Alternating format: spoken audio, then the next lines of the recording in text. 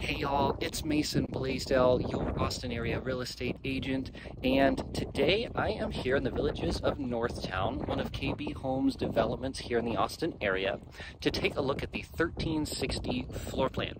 Uh, this particular model shown here is, of course, a three bed, two bath, plus an office, single story, lots of included upgrades and amenities, things like granite countertops, nice cabinets, etc., etc. You'll see it when we get into this home. Um, but here to take a look at their newest model. There is some blue tape and such around for some final touch-ups still, so please do excuse those. Of course, an actual house would be perfect. But um, if you're new to this channel, welcome. My name is Mason Bleasdell. I am an Austin area real estate agent here to be a resource for you. Hopefully you find this video helpful as you're searching for your Austin home.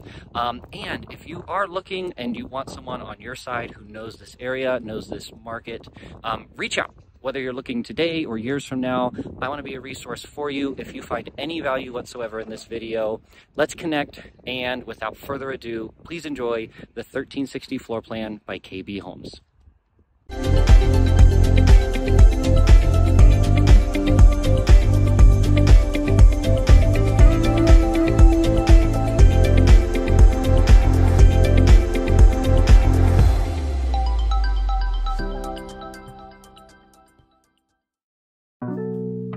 So this is, as I mentioned in the intro, KB Homes 1360 floor plan.